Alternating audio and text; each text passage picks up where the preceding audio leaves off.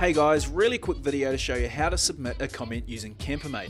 First tap on the profile page, you'll see the comment tab there on the right, tap add a comment, enter your comment and choose one of three smiley faces, hit submit and that's it. Each approved comment is in the monthly draw to win a cash prize. Thanks for watching.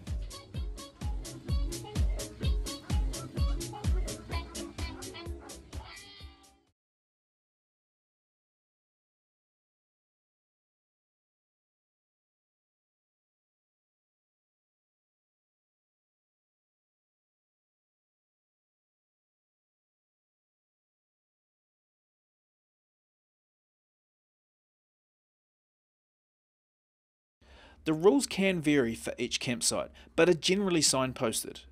You can find the location and the rules of each campsite in advance on the free Campermate app, or you can also ask at the local iSite.